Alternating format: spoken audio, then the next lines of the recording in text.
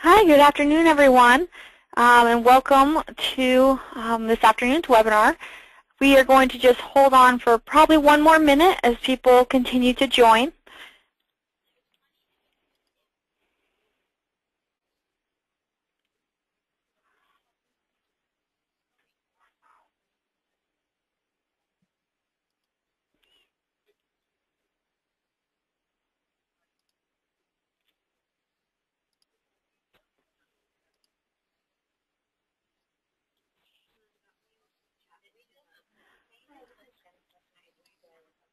Okay, well hello and welcome to this informational webinar on barriers to immigrant women's health and the Health Equity and Access under the Law, or the HEAL, for Immigrant Women and Families Act. My name is Deodane Badarai. I'm the Reproductive Justice Legal Fellow here at the Asian and Pacific Islander American Health Forum, and I'm pleased to be facilitating this webinar today. Um, before I introduce some of our amazing speakers, I have just a few housekeeping items that I wanted to go over. First of all, all lines are currently on mute. We're going to keep everyone on mute for the duration of the webinar, um, but there will be time for questions um, at the end of the entire presentation. So uh, please type your questions into the chat function on the right side of your screen.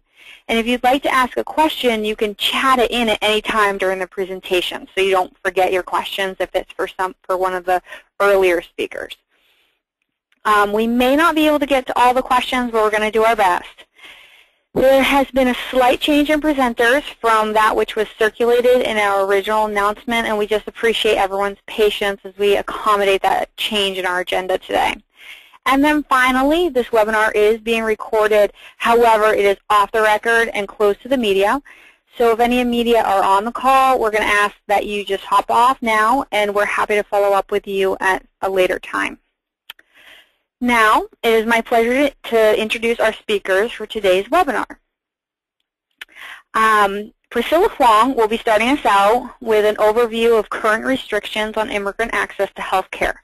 Priscilla is the Policy Director for the Asian and Pacific Islander American Health Forum, a national health justice organization which influences policy, mobilizes community, and strengthens programs and organizations to improve the health of Asian Americans Native Hawaiians, and Pacific Islanders. Priscilla directs the organization's policy work on expanding access to health care and coverage, improving the quality of care, increasing data on Asian American, Native Hawaiian, and Pacific Islander health, and increasing investments in community-driven health strategies. She also works to develop and build our organization's network, uh, national network of community-based organizations and health leaders. After Priscilla, Kimberly Inez McGuire of the National Latina Institute for Reproductive Health will be providing us with a community perspective of the issue. Kimberly serves as the, as the Latina Institute's Director of Public Affairs. She directs the communications activities of the Latina Institute and advocates for salud, dignidad y justicia, sorry about my Spanish accent, um, health, dignity, and justice for the nation's more than 26 million Latinas, their families, and communities. Kimberly, Kimberly is a reproductive justice leader and queer Latina with nearly a decade of experience in government relations, movement building, and strategic communications. Kimberly develops and implements intersectional policy change and culture, culture shift campaigns focused on restoring insurance coverage for abortion, reproductive health equity, and promoting health and human rights for immigrant women. Kimberly earned her Bachelor of Arts degree from Hampshire College, serves on the Board of Directors for Women's Voices for the Earth, and is studying to become a birth doula. And finally, Shivana Jorawar will highlight an exciting new proactive legis legislative effort to restore health coverage for immigrant women and families.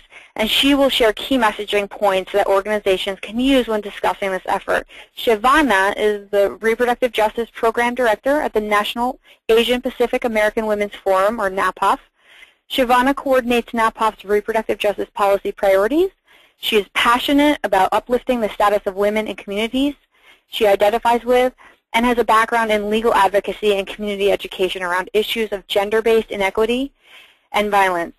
Her experience includes working with the Equal Employment Opportunity Commission as a legal clerk, working with the anti-domestic violence organization Sakhi for South Asian Women, co-chairing a chapter of Law Students for Reproductive Justice, and co-founding the Indo-Caribbean women's organization Jahi Sisters. Jahajee Sisters, where she is now a member of the steering committee. Shavana holds a BA in political science from Fordham University and a JD from Emory University School of Law. So, without further ado, I'm going to hand it over to Priscilla. And Priscilla, take it away. Thanks so much, Dayodhanae, um, and thank you to our colleagues um, at NAPAWF, the Latina Institute, and Guttmacher Institute for co-organizing this webinar. Um, so today I'm going to talk about and go through some of the um, uh, overall restrictions currently in place facing um, immigrants and their families in terms of healthcare access. Um, next slide, please. Uh, next slide. Thank you. And I think the um, the concept I want to start out with is really, you know, it's um, healthcare access. I think this is actually true for everybody, but healthcare access in the U.S. is certainly um, a patchwork of different, um, can be a patchwork of different programs, services, um, and, and, channels for connecting with providers. Um, and for immigrants and their families, um, this is certainly the case, as you'll see uh, when I walk through the different um, programs. But you know, there a lot of questions arise depending on your status, and indeed, as uh, everyone knows, um, your particular immigration status um, in, can uh, mean that you're eligible for one program, but mean could also mean you're ineligible ineligible for a different healthcare program. Um, so today I'm going to just walk through um, uh, very broadly some of the current restrictions um, in the federal means tested benefit programs. Um, I'll touch a little bit on some state programs and then also go through some of the ACA coverage rules. Next slide, please. Um, so the first um, set of slides are going to go through current eligibility restrictions in um, federal means tested public benefit programs. Next slide. And really, the most important thing to understand when you're talking about eligibility for um, immigrants in these programs is to understand the qualified versus the not qualified um, distinctions. So the, the reason um, actually that these two categories came about is because of welfare reform that happened in 1996. Essentially, um, it changed the rules for eligibility for immigrants and created statutorily defined categories that are called qualified categories, and those you can see listed um, on the slide before you. And essentially, anyone who is not um, on this list of statutorily defined categories is deemed not qualified. Um, so this includes a number of immigrants um, uh, that are termed PRUCOL, um, persons residing under color of law, immigrants who um, previously, before 1996, were actually um, eligible for Medicaid and CHIP um, and other programs the same way other immigrants are, um, but they those um, categories, immigrants, lost coverage. In addition, undocumented immigrants uh, fall into this category, and as well as temporary visa holders. Next slide. So, um, so step one, understanding who's qualified and not qualified. The other piece to, that's important to remember when it comes to eligibility is understanding when somebody becomes eligible. Um, so this rule is commonly known as the five-year bar, um, and essentially it means that any uh, qualified immigrant who entered the U.S. on 19 um, on this particular date, which is when welfare reform was enacted, um, or was in a qualified status um, after that date has to wait at least five years until they can become eligible um, for Medicaid. So the reason this is important is because um, the largest category of immigrants this affects are green card holders. So even though green card holders are a qualified immigrant, they still have to wait those five years um, uh, to get uh, to, to become eligible for Medicaid. Um, so it becomes a, a, very high bar to, to uh, pass, even though they are of a qualified status. There are some exemptions. So, for example, um, humanitarian immigrants such as refugees, asylees, trafficking survivors um, can become immediately eligible. They don't have to wait for the five years. Um, uh, but for, for the vast number of qualified immigrants, they are subject to the five-year bar. Next slide. And then uh, another uh, piece that's important to remember is that the five-year bar applies to certain um, public benefit programs. And the term of art here, um, and it's very specific, it's actually federal means-tested benefit public benefit programs. Uh, and the reason this is important is because the five-year bar then only applies to the five programs listed on the slide. There are a number of other federal benefit programs um, such as you know, free school lunches and WIC and other programs that um, are not subject to the five-year bar. So that's why it's important to make that distinction. Next slide.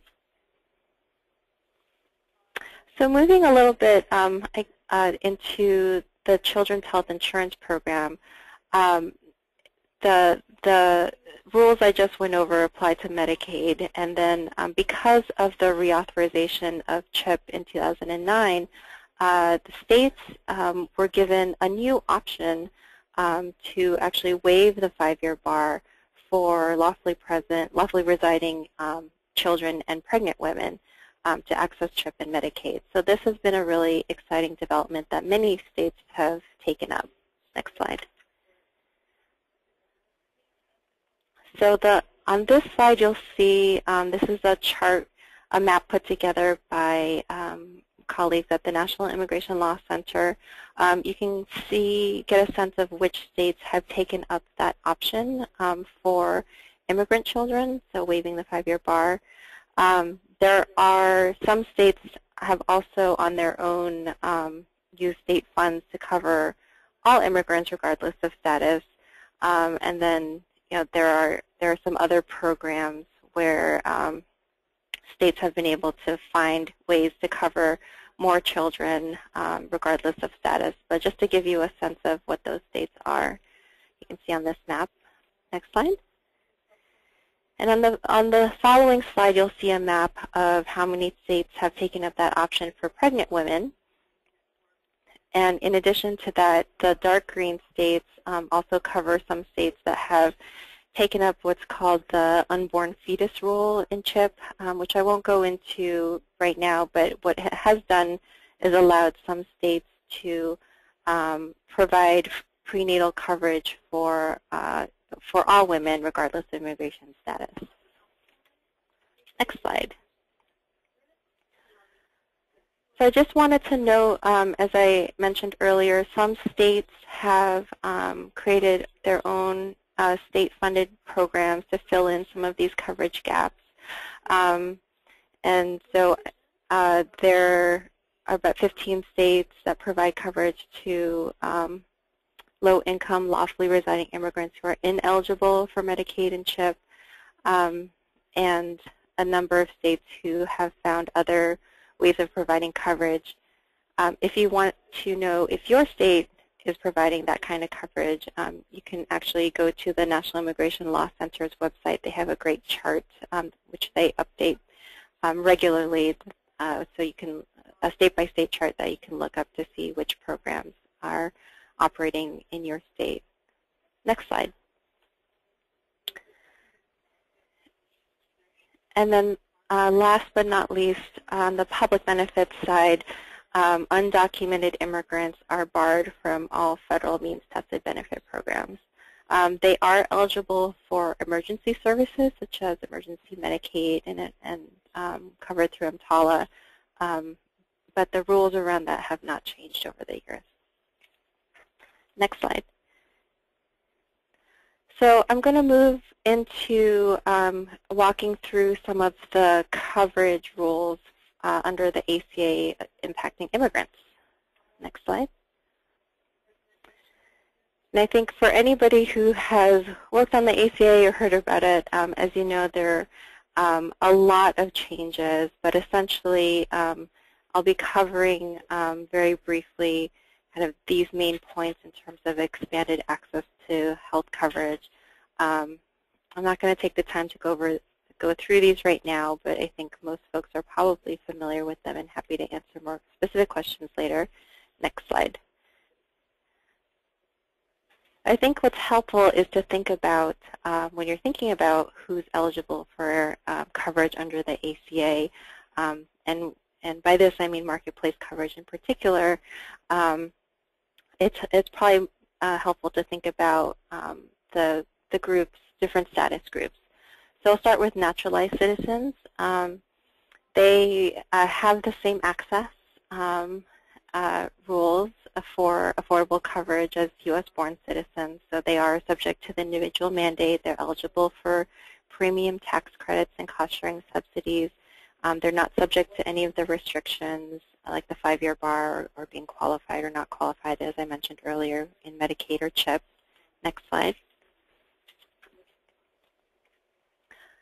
Um, and then what comes next is a little more complicated. So, um, and, and, this is where I think uh, a lot of people, including myself, start to get very confused um, very quickly.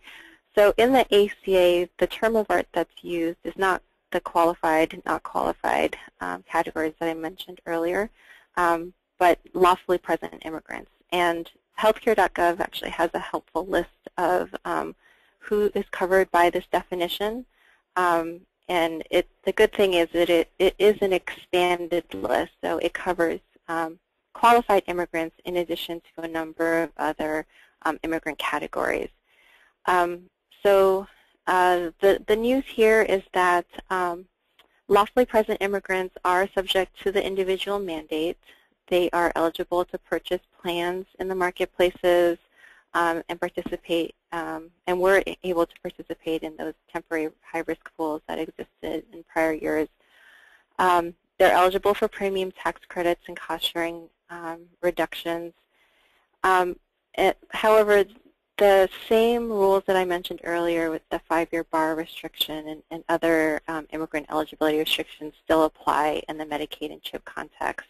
Um, and then in addition to that, in August of 2012, um, DACA grantees, so individuals who um, were granted deferred uh, through the Deferred Action of Ch for Childhood Arrivals program um, by the Obama administration um, there was a rule change that made them ineligible for any ACA, Medicaid, or CHIP coverage. Next slide.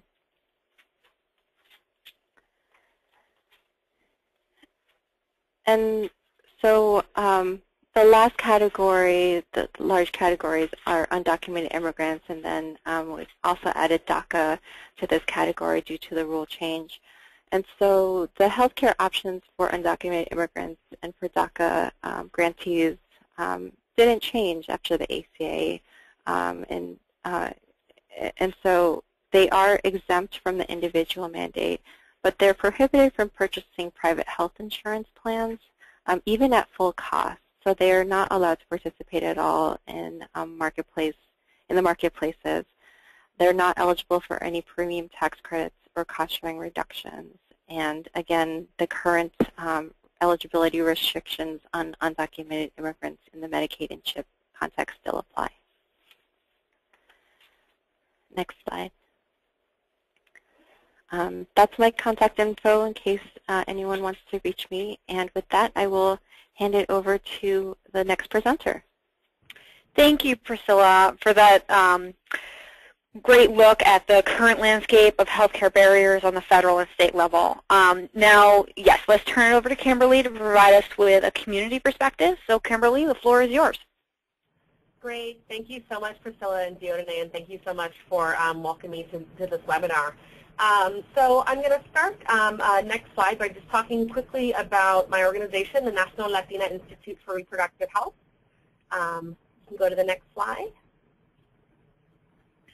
Great. Um, so we are a national reproductive justice organization, and we build Latina power to guarantee the fundamental human right to reproductive health, dignity, and justice. We do that through leadership development, community organizing and mobilization across the country, um, culture shift campaigns and strategic communications, as well as policy change. Um, and you'll see here some of our very uh, fierce uh, Poderosa activists, uh, many of them themselves immigrants. Next slide. Um, we are also very proud to be a co-founder and co-convener of the National Coalition for Immigrant Women's Rights, or NCIWR. I know many of the folks on this call are members of NCIWR, um, and uh, we include, and actually I think it, we're over 83 at this point, um, grassroots and national advocacy organizations dedicated to defending and promoting equality for all immigrant women and their families. Um, and just to say quickly, you know, for those of you who've been part of the conversations about the HEAL for Immigrant Women and Families Act, you know, the work to develop that, le that legislation, the work to um, really, you know, pioneer new ways to talk about these issues that really speak to our values um, has absolutely been a labor of love by, by many of the organizations that co-hosted this call as well as many more. Um, and, and also that I think that effort has benefited from a lot of the existing coalitions that do this sort of work. Um, so one of the coalitions that, um, you know, that, that, does this sort of work, generally speaking, is NCIWR. Um, and uh, along with our co-convener NAPAWF, I think we're going to be looking at ways that NCIWR can um, support uh, this sort of labor of love um, around this, this legislation. Next slide, please. Okay, so, so Priscilla did a fabulous job talking us through what are really, you know, often confusing and complex, you know, patchworks of policies that uh, restrict and in, and in very limited cases allow immigrants access to health care. Um, and so I want to move from the political and from the policy to the personal and, and talk a little bit about what does this mean in the lives of women and families? What does this mean to, to communities and people across the country? Um, so I'm going to talk about some stories, that, and, and the, all of these stories are real people. They're folks that, that I've met, that we've worked with directly, um, who are both living with the, the negative consequences of restrictions on immigrant access to health care um, and organizing and mobilizing to fight back. So um, I'll start with uh, Adriana. So Adriana is um, 41 years old. Um, she has lived in the United States for 22 years. Um, five years ago, she was diagnosed with ovarian cysts and told she needed an operation to remove them. Unfortunately, because there was no place for her to go to get health care in the United States, and she lived in Texas, um, she actually crossed into Mexico for the operation and follow-up services. Um, this is what this is how she describes it. She says, I would go by myself twice a year and return swimming across the river. So she she literally swam across the Rio Grande Valley after invasive gynecological surgery. Um, she says, I risked everything crossing that, crossing that river. I risked my life, risked drowning, being assaulted or killed. These days it's too difficult to do that because of how dangerous it has become. Adriana is the sole caretaker and breadwinner for her family, including her two young grandchildren. And just to give you a sense, um, she makes about $250 a month. Um, she continues to feel pain and would, and would like to receive additional health care. Unfortunately, she's too afraid to cross the border. And again, as an immigrant woman, she has no option in this country where she's lived for 22 years to get the health care she needs. Um, and while she's afraid uh, to cross the border, she's also afraid of what, what um, may happen to her grandkids if she can no longer take care of them. Next slide, please. Um, so I want to just take a moment and, and give some some details around, you know, why why so much focus on immigrant women and families, and specifically on women's health. Um, and you'll hear me talking a lot about the impact of these restrictions on women's health. And um, and a lot of it has to do with, with demographics and with existing policies. So when you look at the immigrant population, many of you know this by now, but a majority of immigrants, 51%, are women. Um, and within that, immigrants are more likely to be of reproductive age. So the need for things like prenatal care, labor and delivery, postpartum care, contraception, um, cervical cancer screening, I mean, these are much more necessary because we're talking about a population that is right at that uh, reproductive age range. We also know that immigrant women have higher rates of cervical cancer. Um, they also have higher mortality rates of, from cervical cancer. Um, many immigrant women are living in uh, isolated or medically underserved areas, so even if they had insurance, it would be hard to get health care, so they are sort of doubly harmed by the lack of ability to get insurance. Um, and we also know that, that the immigration status itself confers a series of barriers and obstacles that make these that, that really compound the harms of these policies. So we know that um, immigrant women may be vulnerable to violence because um, their immigration status may be held over their head by an abuser. Um, and, and in many cases has a fear of being apprehended while obtaining care. So I think the message here is, you know, if these restrictions that Priscilla talked about didn't exist, it would still be a struggle for immigrant women to get access to health care. And they, and they continue to be particularly and disproportionately harmed by all these restrictions. Next slide, please. Um, for more detailed information on how these restrictions harm reproductive health, I want to give a shout out to um, my colleague uh, Kinsey at uh, Guttmacher Institute who wrote an incredibly illuminating piece um, about the, the, the intersection between legal barriers to health insurance for immigrants and women's and reproductive health care. So if you have not seen this piece, piece please um, take a read. It's, it's got a lot of great information. Um, next slide. And um, just to pull out two charts from that uh, piece that I think are really relevant here. So not only are immigrants disproportionately women and of reproductive age, but immigrant women of reproductive age are particularly likely to be uninsured. So as you see here, um, of non-citizen women of reproductive age, 45% are uninsured, so, so nearly half. Next slide, please.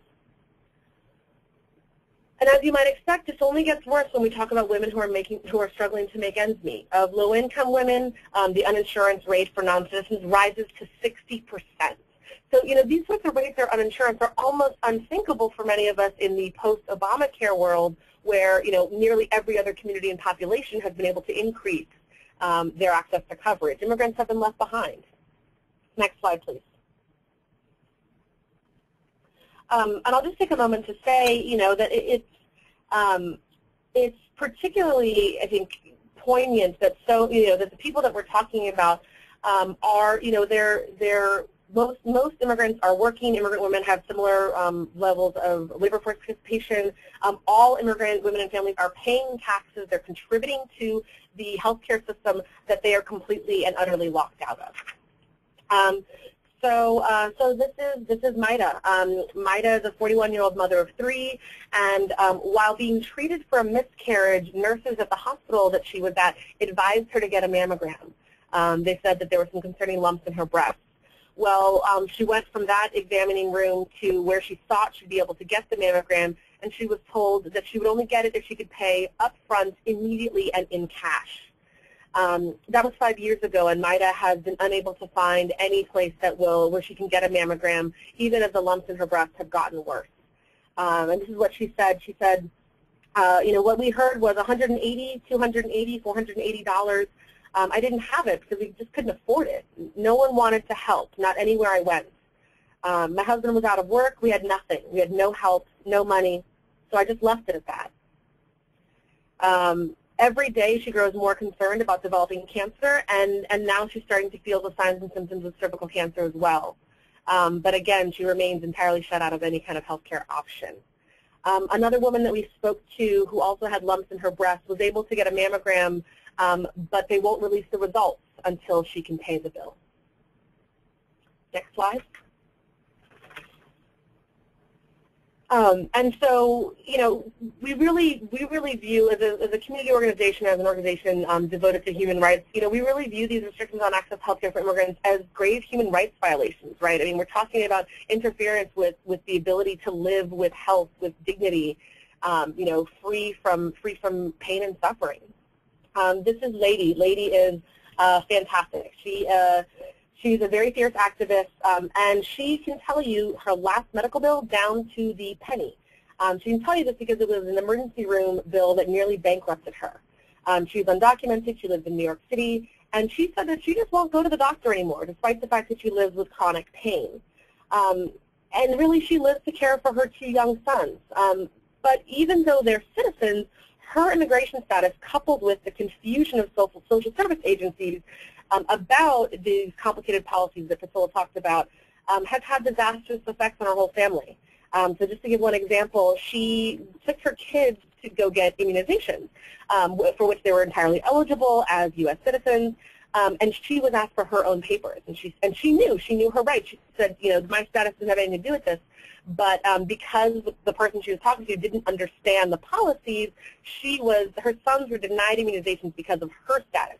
Well, because they couldn't get the shots they needed, they weren't allowed to go to daycare. Because their kids couldn't get into daycare, lady couldn't work and go to school. So we see the ripple effect of these restrictions on access to health care, even, even for those who are citizens and technically eligible, um, but we really see the ripple effects across the entire family. Next slide. All right, so this is, this is Esmeralda. Um, so shortly after she delivered her last child, uh, her husband died in a car accident. And so she was left as the sole caretaker and family breadwinner for five children under the age of 11. She's been living in the U.S. for 13 years, but unlike her citizen children, again, similar to Lady, she is undocumented. Um, she admits that her youngest child, now three months old, was not a planned pregnancy. Um, in the past, she had gotten her birth control pills from a, a clinic but when um, the funding for that clinic was taken away, she could no longer get affordable pills and therefore became pregnant. Um, and I think, you know, what this is the reminder of is that while, you know, things like Title X providers and community health centers are absolutely important, highly, you know, valuable, um, and they provide a, a really vital lifeline for many communities, these programs are simply not designed to meet the full health care needs of women and families, and they're not a substitute for quality, affordable health coverage um, you know, women in similar situations who were unable to get access to birth control. Um, we've heard stories about uh, two sisters who were sharing their pills. They would each take a pill every other day in hopes that, you know, maybe together they could uh, they could afford that and maybe that would prevent pregnancy. Um, those of you who don't who aren't uh, versed in reproductive health, I can tell you that that will not prevent pregnancy. Next slide, please. So you heard Priscilla talk about DACA, um, Deferred Action for Childhood Arrivals. So this is Angie. Um, Angie is a dreamer. Um, she's DACA eligible. Um, and you know, because because of the DACA program, in theory, she has the opportunity to work, to go to school, um, to eventually you know help support her family. But she doesn't have access to health care, right? Because while you know, even though DACA eligible folks, you know, going through the program would be considered lawfully present, um, they're specifically carved out of healthcare. And I think that this, you know, as do many of the policies, but the, the DACA exclusion in particular really underscores the hypocrisy and harm of some of these policies, right? Because the message is even if you're lawfully present and even if you're authorized to live and work and go to school in this country, you know, you better not get hurt or sick because if you do, you're out of luck. Next slide. Um, so, you know, needless to say, this has a huge impact on families. It has an impact on undocumented families, on lawfully present families, on mixed status families, on the friends and neighbors and caretakers and loved ones who are connected to those who are denied health care. Um, and so, you know, while, while it is an individual who is denied care because of their, their coverage and because of their individual status, um, it is something that ripples out into families, into communities, and into our entire society. Um, and it's really something that, you know, we as a community must address because it, it, it in many ways affects us all. Next slide, please. So um, I'm just going to close with a, a, couple other thoughts on sort of, you know, zooming out um, in terms of, you know, how do the community stories play into the broader policy discussion and then what some of the work that's going on to fight back. Um, so, you know, many of us uh, on this call today and, and um, part of this effort really see immigration policies as central to women's equality, and we see healthcare as intrinsic to that agenda. Um, one of our activists recently said, uh, you know, we were talking about immigrant access to healthcare, and she goes, you know, didn't the president just say when women succeed, America succeeds? Um, and, you know, we don't think that immigrant women can succeed without access to healthcare, and we certainly don't think that we can succeed without immigrant women. Next slide. Um, another barrier to healthcare that I just want to mention quickly because I think it, it um, compounds some of the restrictions we've talked about. So um, there's a particular kind of denial of access that's happening for folks who live along the border, and that's because of checkpoints. Um, so you'll see on the slide those white dots represent um, internal uh, within the United States checkpoints. And so what that means is that, you know, if you are an immigrant woman or um, who, you know, doesn't have access to health care, but let's say you're able to find a clinic, you know, four hours away where you can get some care. Um, well, if you have to cross a checkpoint, you're not going to be able to get there because, you know, you would, you would be stopped and, and asked for your status. Um, so I think that this is a reminder that, you know, draconian enforcement, again, um, has a, a, really awful symbiotic um, effect along with these restrictions on access to health care, kind of making each one worse. Next slide. So, um, and click again, please. So just uh, a few quick words on some of the work that we're doing to organize uh, women and families to fight back against these restrictions. Um, this was a, a, piece of art that was created by the Strong Families Coalition, um, uh, pointing out some of the limitations in the Senate bill and you know, really calling out that when we talk about years and years of delay for access to health care, that has a real impact on, on people and on their families.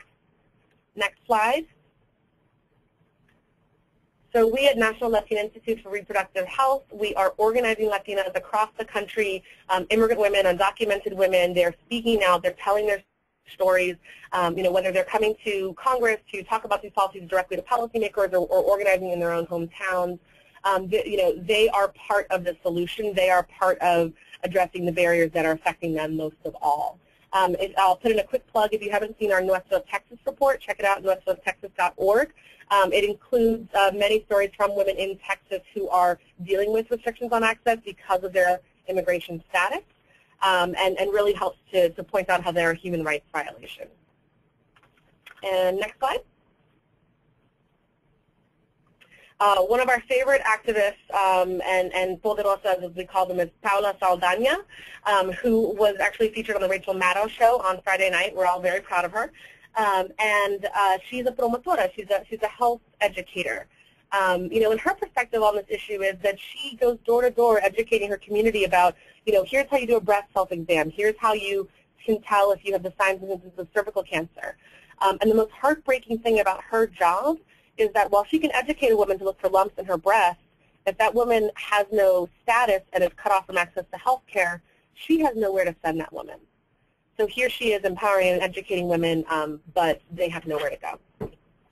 And last slide, please. So I'm actually going to close with um, words from another another one of the women that we've been talking to. Her name is Rosa. Um, and, you know, she talks about, you know, what is it like to get continually turned away from clinics because of your immigration status. And she says, having doors shut on you everywhere makes you feel like you're in the desert, a desert where there's no help, no one to lend a hand. So uh, here's hoping that working together we can start to lend a hand to these communities. Thank you. Thank you so much, Kimberly. Um, those are some quite powerful stories from the communities that are being directly impacted by the policies. Um, Siobhan, at this point, I'd like to turn it on over to you. Thanks so much, Diodune, and thank you so much, Kimberly, for sharing those stories with us. I think it's so important that we always remember the real people in our families and communities that are impacted by these policies. So I'll be talking you through messages we've crafted for talking about this issue in the best way, as well as uh, things that are being done to address the problems and how you can take part. Slide, please.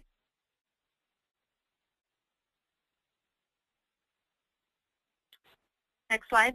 Thanks. Um, so before I get into all of that, I did want to talk about the National Asian Pacific American Women's Forum, where I work, and uh, about the AAPI's stake in immigrant women's health.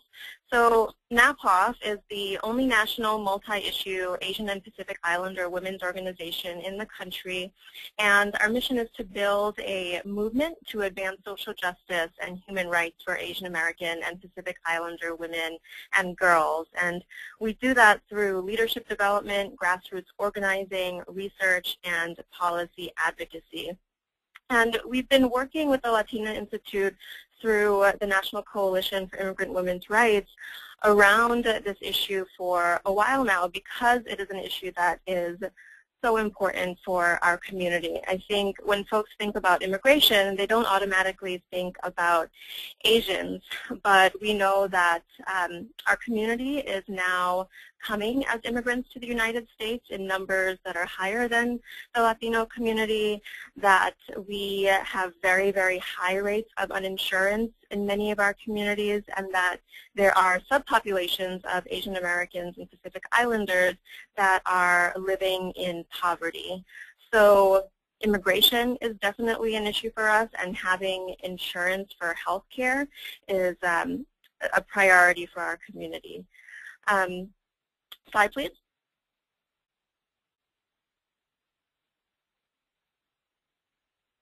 So with that, I'll get into some of the messaging. Of course, as many of you know, this can be a difficult issue to talk about. And even though a majority, 63%, based on a Kaiser poll of the American population, believes immigrants with provisional legal status should be eligible for Medicaid, this still isn't easy to talk about with lawmakers. Thankfully, there are good messages that we have, um, and we're happy to share them with you today. So the messaging that I'm going to be talking about comes from work done by the National Coalition of Immigrant Women's Rights over the years, as well as research-based messages developed by Belden Russonello strategist for the National Immigration Law Center. So what you're seeing here is a message triangle. These are the three main messages we think resonate most with people around this issue. Two of these, the fair treatment points, up there at the top and the families points on the right are really values-based and invoke the values of fairness and family that we know many Americans share. And the third point down there on the left is a more practical one, if you will, that centers around the economic benefit for everyone when women and families have the health care that they need. So I'm going to go a little bit more in depth. So the first point, this is about fair treatment. This really focuses on the idea that immigrants are already paying their fair share. They work hard, they pay taxes that support the healthcare system, and they should be able to benefit from what they put in. They should be treated fairly by the system they contribute to, essentially. And uh, another point here is that anyone can get hurt or sick. So everyone should have access to the care they need. No one should be living in fear that an accident or an illness could threaten their family's stability and turn their lives upside down.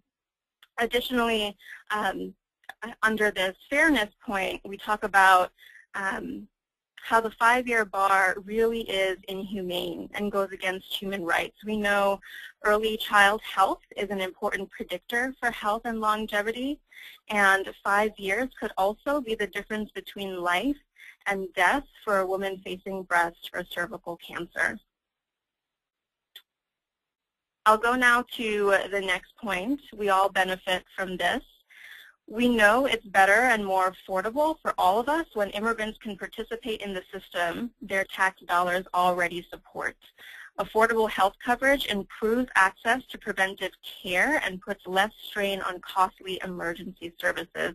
And we know that when more of us have health coverage, our workforce is healthier and our economy is stronger and that denying coverage does not eliminate the need for care. Women still need care and their families still need care. Without health insurance, immigrant communities may delay care for preventable diseases, leading to higher costs and greater suffering.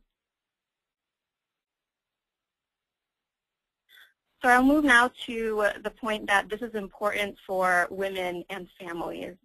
We know that immigrant women are disproportionately harmed by the barriers to care. They're more likely to be low income, of reproductive age, and uninsured. Barriers to affordable coverage increase the risk of negative sexual, reproductive, and maternal health outcomes with lasting economic consequences for immigrant women and their families. We also know that when mom is healthy, the whole family benefits. So, you know, as a, a a person coming from an immigrant family myself, I know that immigrant women are the backbones of our families and communities, and they're really the drivers of integration. They're the ones that are encouraging their families to learn English, to do well in school and business, and to pursue naturalization, to go through the citizenship process. So when immigrant women can participate in the health care they already pay their fair share for, and when they can make decisions about their own reproductive health, they're better able to care for their children and their family members, making the whole community stronger. Furthermore, we know that immigrant women are important contributors to the economy and they therefore deserve equal opportunity. They're more likely to start businesses than uh, non-immigrant women are and are also a vital part of our service economy. Next slide, please. So I want to go now into uh, a list of do's and don'ts or what to avoid and what to say instead. And one thing we really want to avoid saying is that these policies are unfair. So you can say immigrant women should, um, there should be fair treatment, but you want to stay away from the word unfair because when it was tested, folks thought that it sounded whiny and um, it didn't resonate with a lot of people. Instead, you want to say um, immigrants pay taxes and should be able to benefit from the programs that their taxes support. You also want to avoid talking about punishing people by not giving benefits, which invokes this idea that immigrants have done something wrong in order to be punished. So you really want to stay away from that and instead talk about people working and contributing to our communities. Also, avoid saying that including immigrants would be cheaper because they are younger and healthier because what we found is that uh, the American public doesn't want to hear that uh, they're not healthy and that immigrants are healthier than they are and younger than they are. So um, instead you want to say it'll be better and more affordable for all of us if immigrants are contributing to their health care and getting the care that they need.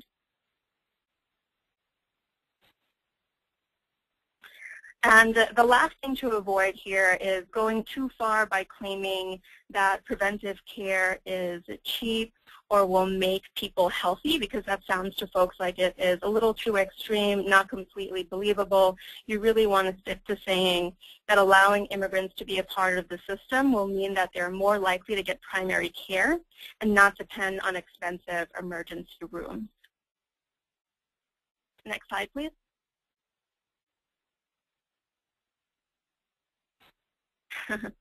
so uh, we're in a very exciting place right now. Congressman Michelle Lujan Grisham from New Mexico has really become a champion for this issue, and we've been working with her to introduce proactive legislation around it. She publicly announced her intent to introduce legislation, and we are very, very much looking forward to supporting her with this as it moves forward. Um, you know, we usually are on the defense in the reproductive justice, health rights, and uh, community. Um, and it's not every day that we have a Congress member who is coming out so boldly and proposing things that we can be for. It's, it's always us fighting against something. So we feel very grateful, appreciative, and excited that uh, the Congresswoman has come forward and is doing this.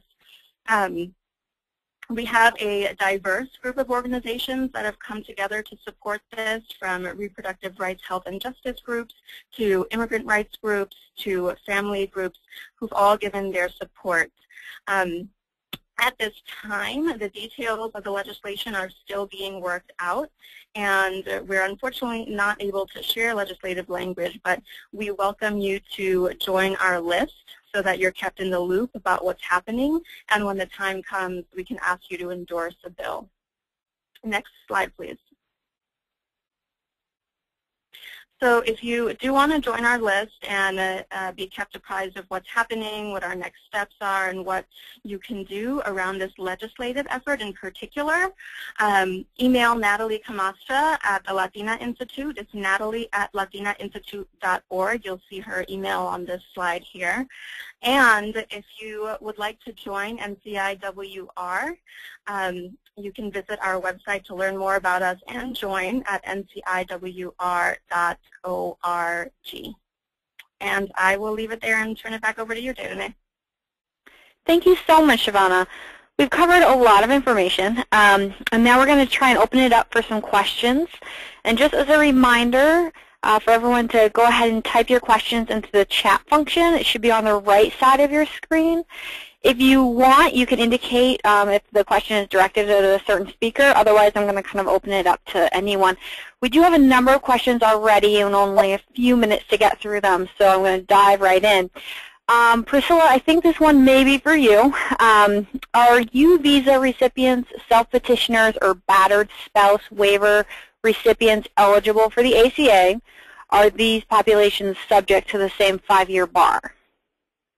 They are eligible for the ACA for marketplace coverage, and they are not subject to the five-year bar. Great, thank you. Um, and then I'm going to throw this one um, open to anybody. It's about Vermont's single payer program. Um, so the question is, Vermont's single payer program is extended to undocumented immigrants. How did they do this, and how well is it working?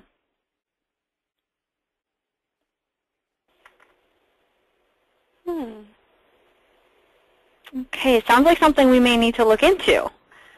Um, did any of the speakers want to jump in? Okay, well, we'll go ahead and move on just because we're short on time. But um, to the uh, person who did write that in, uh, we'll try and actually find you know somebody who may be able to answer that for you. Um, so another comment here do you think it's important to disaggregate immigrant groups by region or origin? Immigrants from South or Central America may have different needs compared to African immigrants. Siobhan, I'm wondering if you want to take this one? In terms of talking about like subpopulations?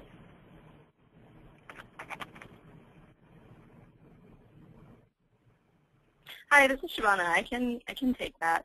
Um, so disaggregation is actually something that the AAPI community is very, very keen on, and in our policy priorities as a community, we always lift that up for our um, our lawmakers because our community is so diverse and we're so often um, looked at as a monolith and we know that the reality is that so many of our communities um, are struggling to, to make ends meet and that is not reflected in um, the uh, the narrative that's told about us. So we very much are a proponent of uh, disaggregation, and I think that generally it makes sense to disaggregate data so that you're getting the most accurate picture of what's happening. Great, thank you, Shavana.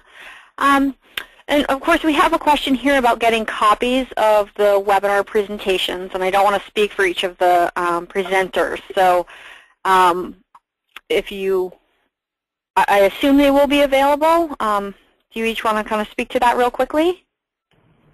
This is Kimberly, yes. This is Priscilla, yes. Okay, so it sounds like we will be able to go ahead and share those out. Um, thank you for flagging that for us.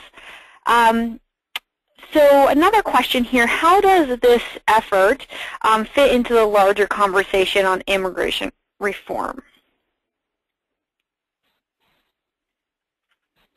This is Kimberly. I can take that one. Um, you know, so I think that, uh, you know, we could have a whole other webinar about, like, where the national conversation is about immigration reform and what's going on on the Hill versus what's going on with administration advocacy. Um, but I think, you know, we really see the, the effort around this proactive legislation as creating a space that doesn't currently exist to have a meaningful, informed conversation about access to health care. Um, so in many ways, you know, obviously it's, it's related, but we do see it as opening up a new political and rhetorical space um, to have a conversation that, that's frankly not been adequately addressed by the mainstream discussion.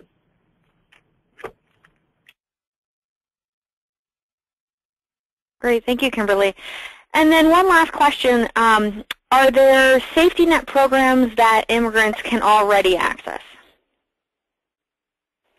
Yeah, this is this is Shauna. There there are safety net providers that do um, play an important role in giving services to underserved populations, including immigrant women.